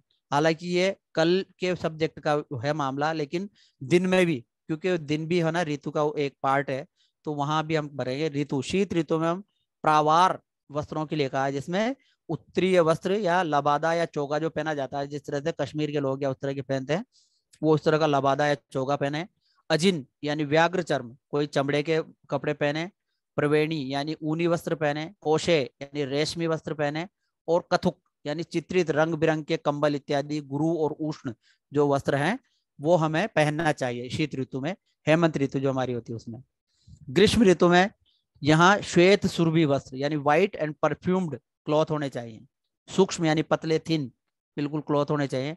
कषाय वस्त्र, उनको कशेले पदार्थ में या कशेले या कोई वृक्ष की छाल या पत्तों के साथ हम उनको रंग लें उसी से कशेरा हो जाता है वस्त्र, और शीत, लघु और पित्त ने इस तरह के वस्त्र पहनने चाहिए। वर्षा ऋतु में शुक्ल यानी व्हाइट कलर के होना चाहिए, और अंबरवर्ण यानी स्काई ब्लू वाले होने चाहिए। लघु, शीत गुणयुक्त होने चाहिए। शरद ऋतु में अंबर वस्त्र होने चाहिए। इनका लाभ क्या है? काम्यम, यशस्यम, आयुष्यम यशस्यम, आयुष्यम, अलक्ष्मिदनम, प्रहर्षणम। ये आपका जो है यश को बढ़ाते हैं, आयुष्य को बढ़ाते हैं, अलक्ष्मिदन। मतलब गरीबी को दूर करने कपड़े, अच्छे कपड़े पहनने से आदमी अमीर लगता है अच्छा धनी लगता है, ऐसा नहीं है। तो आपकी अलक्ष्मी को स्वतः ही दूर करते हैं, आप खुद को अच्छा महसूस करते हैं, और आप जिसको कहते हैं ना हम बोलचाल में या बुरी भाषा में फटीचर लग रहा है। वो जब आप कपड़े ऐसे पहन लेते हैं तो क्या बोलेगा, कोई भी कह रहे यार, क्या फटीचर लग रहा है? तो अलक्ष्मीदनम लक्ष्मी, अलक्ष्मी को दूर करने वाला, प्रहर्षणम, आपका जो है, एक वो समाज में या कहीं भी आप जाते हैं तो आपको एक अट्रैक्टिव वो बना देता है। श्रीमद श्रीमद पारिशम, कहीं भी आप परिषद में जाते हैं तो वहाँ भी आपको शस्तम बहुत अच्छा वो कर देता है, निर्मला अंबर धारण और निर्मल अंबर धारण करने से ये सारी चीज़ें प्राप्त होती है। नेक्स्ट कर दीजिए क्या क्या क्या करना चाहिए? सुगंध, लेप, माला, रत्न, ये सब भी धारण करने चाहिए। जैसा आज की, अभी भी हम लोग करते हैं ना, माला पहनते हैं, सोने की चेन पहनते हैं बड़ी बड़ी अंगूठियाँ पहनते हैं क्या क्या तो गंध, माला, अनुलेपनम के भी बहुत बड़ा महत्व है दिनचर्या में। उन्होंने कहा ये धारण करने से क्या होता है? वृक्ष्य ये व्यक्तित्व व्यक्तित्व में जो पुंसत्व शक्ति होती है उसको बढ़ाने वाला होता है। सुगंध, गंध और माला का धारण, हम हम कई परिप्रेक्ष्यों में देखते हैं तो वहाँ पुष्प का सेवन और पुष्प का धारण बताया मतलब ग्रहण।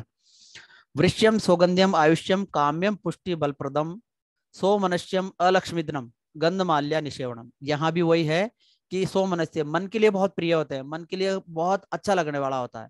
सुगंध से आयुष्य बढ़ता है, काम्यता बढ़ती है, पुष्टि और बल बढ़ता है। तो हमें इन चीज़ों का धारण करना चाहिए। रत्न और आभूषणों का भी धारण करना चाहिए। रत्न आभूषण धारण करने से सौभाग्य, मंगल और आयु की वृद्धि होती है। राशि के अनुसार रत्नों का धारण करना चाहिए। ग्रह ग्रहों के अनुसार रत्नों का धारण होता है। वो एक अलग बड़ा विषय है। तो उस तरह से रत्नों का धारण करना चाहिए। उससे दुख दूर होते हैं। जब आप कोई परेशान होते हैं, आपको कहा जाता है, मूँगा पहन लीजिए, पन्ना पहन लीजिए तो वो हम जब उस तरह का वो रत्न पहनते हैं तो हमारे दुख दूर होता है और मन प्रसन्न हो जाता है। शरीर सुंदर हो जाता है और ओज की वृद्धि होती है कांति बढ़ जाती है। नेक्स्ट कर दीजिए। इसलिए हमें गंध माला रत्न और आभूषण, इनका भी धारण करना चाहिए। छोर कर्म, केश नख कल्पनम। यहाँ देखिए, बहुत अच्छी बात आचार्य ने। तीन पक्ष में दिन में केश मतलब 45 दिन में तो केश कर्तन करवाना चाहिए। दाढ़ी, नख, ये अवश्य बनाना चाहिए। उसमें त्रिपक्ष से केश, नख शमश्रु नखान, केश शमश्रु नखान संहार्य, ये वहाँ कहा, और क्या लाभ होगा? पौष्टिकम वृश्यम आयुष्यम शुचि रूपम शुपी रूप विराजनम, केश शमश्रु नखादिनाम, कल्पनम या कर्तनम नहीं का काटने नहीं है, काटना नहीं है, कल्पना करना है, कल्पना मतलब संवारना है उनको, संवारना है, जिस तरह से जब आपके आपकी उसके अनुभूत अनुकूल हो आपके शरीर के अनुकूल, आपके चेहरे के अनुकूल हो आप सुंदर लगता हो, ऐसा कल्पन करें, कर्तन नहीं करें कि इधर से कटवा दिया और ऐसा कबूतर जैसे या ऐसे बनवा लिए नए नए डिज़ाइन के, नहीं। आपको चेहरा ही बड़ा अजीब लग रहा है, लोग आप पे हंस रहे हैं और आप खुश हो रहे हैं, खुद खुद में खुश हो रहे हैं कि हाँ। और पैसे भी अधिक, हम सामान्य जो कल्पन कराते हैं, वो पचास रुपए लगेंगे और वो कर्तन के आपको डेढ़ सौ रुपए दे के आने पड़ते हैं। मतलब आपकी जो है, पैसों की भी हानि हो रही है। तो आप क्या करें, केश नक शमशुरु इत्यादि का कल्पन करें और प्रसादन करें। नेक्स्ट कर दीजिए सर। पादत्र धारण, जूता खड़ाओ चप्पल इत्यादि जो हम पहनते हैं, उसका भी बड़ा महत्व है। चक्षुष्यम, देखिए आप, पैरों का बड़ा संबंध है और ये चक्षुष्य पादत्र के लिए बहुत महत्वपूर्ण बात यह है कि उन्होंने कहा है कि जो पादत्र धारण और पाद प्रक्षालन प्रक्षालन मतलब पैरों का धोना, जो एक पॉइंट वहाँ उधर मिस हो गया, यहाँ कवर कर लेते हैं। पाद प्रक्षालन, जो लोग नित्य पैरों को बार बार दिन में धोते हैं, वो उनकी नेत्र ज्योति बहुत अच्छी होती है। पाद प्रक्षालन से, उसका बहुत अच्छा उदाहरण आप देखिए, कहीं भी मंदिर में जाते हैं, मस्जिद में जाते हैं, नमाज़ पढ़ते हैं पाँच बार या मंदिर में प्रवेश करते हैं या गुरुद्वारे में जाते हैं तो आपसे पैर धुलवाए जाते हैं। अब आप दिन में पाँच बार जाते हैं तो पाँचों बार आपको पैर धोने हैं। आप तीन बार मंदिर जाते हैं, दो बार जाते हैं, जब भी जाते हैं तो वो कहीं ना कहीं धर्म के साथ जोड़ी जाती है चीज़ें, ताकि आपके स्वास्थ्य उससे बना रहे और आप धर्म के पालन के साथ साथ स्वास्थ्य पालन भी कर पाए। तो चक्षुष्य होता है, स्पर्शनम हितम, स्पर्श के लिए हित होता है, पाद पाद्योर वचनम बल्यम, बल को देने वाला, पराक्रम और सुख को देने वाला, वृश्य मतलब पौरुष शक्ति को बढ़ाने वाला, ये जो है पादत्र धारण। तो इसी तरह पैरों में जब हम ये पादत्र या जूता, चप्पल जो है, ये भी हमें क्या करना चाहिए? प्रकृति के अनुकूल, ये प्लास्टिक इत्यादि के जूते, चप्पल नहीं पहनने चाहिए, प्रकृति के अनुकूल या चमड़े इत्यादि के जो जूते हैं, वही सेवन कर, धारण करने चाहिए। सॉरी। और वो आपको जो है पैर में फटना, कांटे इत्यादि चुभना, ठोकर इत्यादि लगना, इन सबसे बचाएगा, आपकी रक्षा करेगा। तो ये भी स्वास्थ्य लाभ के लिए अत्यंत आवश्यक नेक्स्ट कर दीजिए ये हमारी प्रातःचर्या हुई। प्रातःचर्या में इसके बाद हम जो है मध्यान्हचर्या। यहाँ तक हम सुबह से उठे, उठने से लेकर हमने जो प्रातःचर्या में ये सब करना है मतलब अब आपने जूते पहन लिए हैं, अब आपकी जाने की तैयारी हो रही है। या जूते नहीं पहनने से पहले हम जो है घर से बाहर निकलेंगे तो आहार और उसका सेवन की भी बात आएगी, वो हम कल के सेशन में या तो कर लेंगे। और मध्यान्हचर्या मध्यान्हचर्या में हमें क्या करना है कि प्रातःचर्या के बाद हम क्या करें, इष्ट प्रिय जनों शिष्ट सभ्य जनों के साथ और त्रिगुण युक्त कथाओं के साथ, जिनमें धर्म, अर्थ और काम का वर्णन किया गया हो, ऐसे ग्रंथों को पढ़ते हुए हमारी मध्यचर्या को करें। दोपहर के समय में हम क्या करें, कोई पुस्तक या कोई चीज़ कोई ग्रंथ या कोई धर्म, अर्थ, काम का वर्णन जिसमें आया हो कोई भी चीज़ में, ऐसे ग्रंथ का, ऐसी चीज़ों को पढ़ें और शिष्ट जन प्रियजन या सभ्य जनों के साथ हम बैठें, उनसे कुछ अच्छी अच्छी बातें करें, व्यवहारिक बातें करें। साथ ही सदव्रत के साथ साथ वर्णित, जो सामाजिक जो है, व्यवहार के नियम है, उनको हम सीखें, बुज़ुर्ग लोगों के साथ बैठें, उनसे पुरानी और अच्छी अच्छी बातें सीखें। इस तरह हम जो है, ये यहाँ तक की दिनचर्या हो गई और इस मध्यान्हचर्या के बाद मध्यान्हचर्या के साथ ही हमारी जो दैनंदिन चर्या में जो हम पैसा कमाने के लिए या जो ज्ञान अर्जन के लिए अगर विद्यार्थी हैं तो और कोई पारिवारिक जीवन व्यतीत करने वाला व्यक्ति है तो वो अपना धन अर्जन के लिए अपना प्रस्थान करें, यहाँ तक की चर्या का पालन करें, फिर अपने कार्य की पूर्ति करें, कार्य पूर्ति के बाद शाम को लौटें, और फिर रात्रि चर्या होती है थोड़ा सा तो वो बहुत साधारण सा उसमें ज़्यादा बहुत ज़्यादा वो नहीं होते कि समय पर आप भोजन कर लें, संध्या काल में आते ही अपने हाथ, पैर, मुँह का प्रक्षालन या धावन करके खान अपना भोजन भोजन बिल्कुल ऋतु अनुसार और प्रकृति के अनुसार हो, उस पर कल बात कर लेंगे। ये सब सेवन, ये करने के बाद आप समय से सो जाएँ। आजकल व्हाट्सएप और मोबाइल की वजह से हम नींद पूरी नहीं ले पा रहे हैं तो बड़ी समस्याएँ हमारे सामने आ गई हैं। तो हम जो है, समय निर्धारित कर दें कि नौ बजे, दस बजे मैं अंतिम बस मुझे निद्रा लेना है, क्योंकि मुझे ब्रह्म मुहूर्त में उठना है। अगर मैं तब नहीं सो पाया तो मैं ब्रह्म मुहूर्त में उठ नहीं पाऊँगा और मेरी दिनचर्या अस्त व्यस्त हो जाएगी। इतना ही कह के मैं अपने शब्दों को विराम देता हूँ। आप सबने धैर्य के साथ मुझे सुना और मेरी बातों को मुझे लगता है कि आचार्य की जो बातें हैं, मेरी तो क्या है इनमें? इसको व्यवहारिक पक्ष में हम देखते हुए हमारे जीवन में इसको अप्लाई करेंगे और स्वास्थ्य लाभ प्राप्त करेंगे। दिनचर्या को जब हम करेंगे तो निश्चित रूप से स्वस्थ सहस्रायु या शतायु को प्राप्त करेंगे। आप सबका धन्यवाद। जय हिंद जय Bharat. Thank you very much sir आपका समय देने के लिए it was really interesting very informative मैं ज़्यादा समय नहीं लूँगा क्योंकि ऑलरेडी काफ़ी समय हो चुका है। मैं सर सर दो शब्द बोलूँगा कि uh, आप लोगों ने बहुत ढेर सारी नई जानकारी प्राप्त की होगी और आयुर्वेद एक विषय ही ऐसा है जिसमें सब कुछ डिस्क्राइब किया है। मतलब अगर मैं सब मेरे शब्द कम पड़ जाएँगे अगर मैं उस उसके बारे में कुछ कहूँगा और लगता हूँ मैं योग्य भी नहीं हूँ उसके बारे में कुछ कहने के लिए आ, कल के दिन पे आ, सर कुछ टेक्स्ट बुक भी कुछ सजेस्ट करेंगे जिनमें जिन, जिन ये सारी चीज़ें कुछ सीख सकते हैं। दूसरी चीज़ हम लोग एक सेवन डेज़ का एक पूरा वर्कशॉप करने वाले हैं। काइंड ऑफ़ कोर्स ही होगा।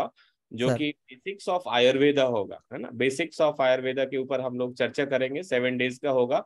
जी। आ, उसको भी आप ज्वाइन कर सकते हैं और आज लगभग सेवेंटी लोगों ने ज्वाइन किया था। आप अपने फ्रेंड सर्कल में भी आपको ये जो भी इंफॉर्मेशन है आपको लगता है बहुत काम की है सबके काम की है तो आप इस मैसेज को थोड़ा सा और भी सर्कुलेट करें ताकि बाकी लोग भी लाभान्वित हो सके। आज हमारे साथ में more than twenty five doctors आयुर्वेदाचार और वैद्य जुड़े थे। मैं उनका सभी का स्वागत करता हूँ अभिनंदन करता हूँ। आप लोग बहुत ढेर सारे एक्सपर्ट्स हमारे साथ में जुड़े थे। कल का भी वर्कशॉप है तो कल का एक घंटे का समय रहेगा। तो कल भी आप लोग ज्वाइन करिए और मेरा एक रिक्वेस्ट और भी है कि हम लोग ये हमारा सिक्सटी एट्थ एपिसोड था। हम कंटिन्यूसली ऐसे फ्री वर्कशॉप करते रहते हैं जो अपने इंडिया आउट ऑफ़ इंडिया के जो अलग अलग विषय के एक्सपर्ट हैं उनको हम कॉल करते हैं और ये वर्कशॉप करते हैं। तो अगर आप रेगुलर उसमें वीकली या फिफ्टीन डेज़ में एक बार हम करते हैं, उनको ज्वाइन करना है तो आप जो भी लिंक दिया गया था, उसको लिंक में आप क्लिक करके और अपना रजिस्टर कर देंगे तो हम आपको मैसेज डाल पाएँगे। या मैं अपना ग्रुप में एक नंबर शेयर कर देता हूँ, उसमें आप हमें व्हाट्सअप कर देंगे तो आपको हम वो ग्रुप में ऐड कर देंगे nine one double six zero four double six nine seven ये नंबर है इसमें आप अगर टेक्स्ट करेंगे तो भी आपको हम लोग उसमें ऐड कर देंगे ग्रुप में। तो आप इजली जो है इंफॉर्मेशन आपको मिल जाएगा। और मैं लिंक भी इसमें डाल दूँगा। तो लिंक से भी आप लोग ज्वाइन कर सकते हैं। देखिए श्रेया लाइन में है क्या? तो आप ग्रुप में लिंक डाल दीजिए जो अपना ग्रुप का है, रजिस्ट्रेशन लिंक। हमारे साथ में एक डॉक्टर इकबाल जी और जुड़े थे पता नहीं अभी हैं या निकल गए वो। आ, उनका भी मैं स्वागत करता हूँ।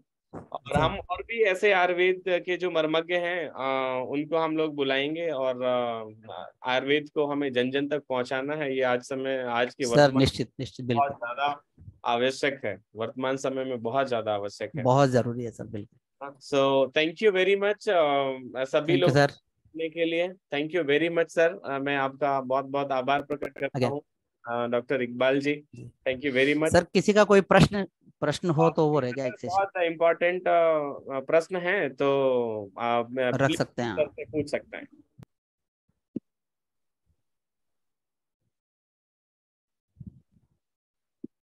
Uh, कोई क्वेश्चन है? सर ने काफ़ी बहुत ढेर सारी इन्फॉर्मेशन शेयर किया है। उसमें से अगर कोई क्वेश्चन है तो प्लीज़ आप पूछ सकते हैं।